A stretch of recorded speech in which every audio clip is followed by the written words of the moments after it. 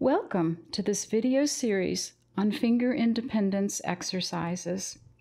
Finger independence exercises train our fingers to play independently of each other. These incredible exercises have been taught for generations through my unique music lineage. My pre college piano teacher was Gray Perry, who studied many years with Isidore Philipp at the Paris Conservatory of Music.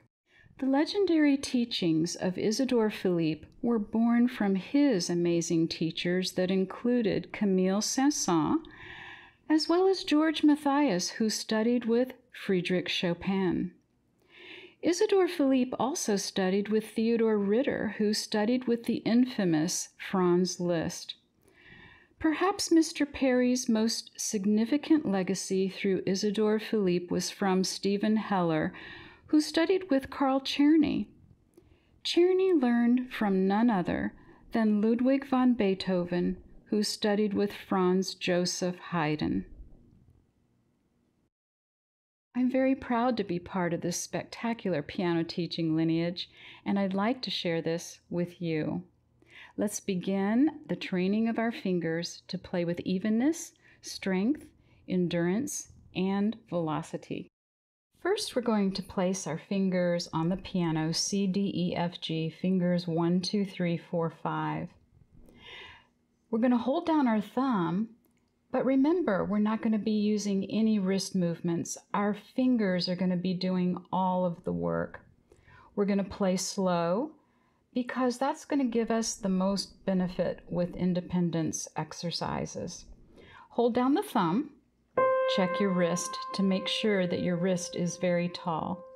We're going to repeat fingers two and three while holding down our thumb. We're going to do four more. Next, we're going to hold down our third finger. Repeat fingers two and one. Again, check your wrist to make sure it's tall. You want to be playing on the tip of each finger. Second finger holds. Fingers three and four repeat. Check the arch of your hand. Your knuckles should be tall. Fourth finger is now going to hold. Repeat fingers three and two. Keep it slow, don't rush.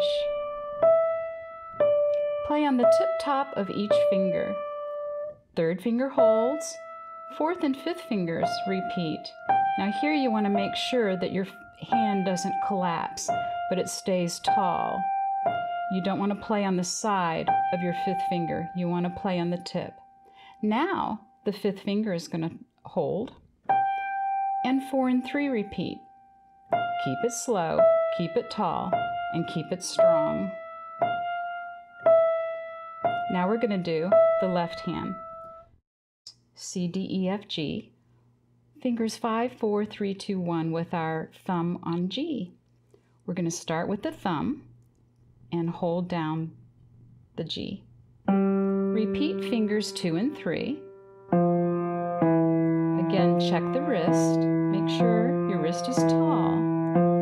We're going to hold down the third finger and play fingers two and one. Make sure your fingers are always curved. Third finger lifts Second finger holds, three and four repeats. Tall wrist. Check your knuckles to make sure they're not caving in like that.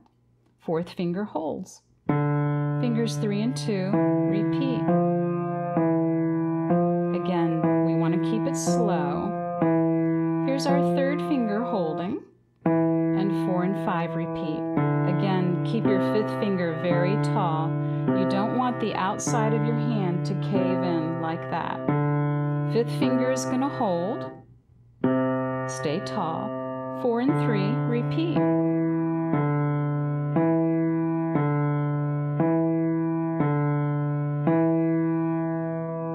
And that completes independence exercise number one. To receive the greatest benefit, only play these exercises hands alone so that constant attention can be given to your hand position.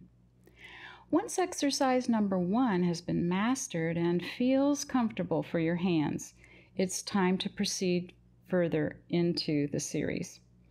Thank you for viewing this video.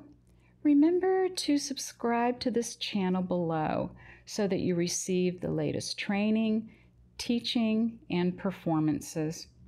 Next, we'll continue to independence exercise number two.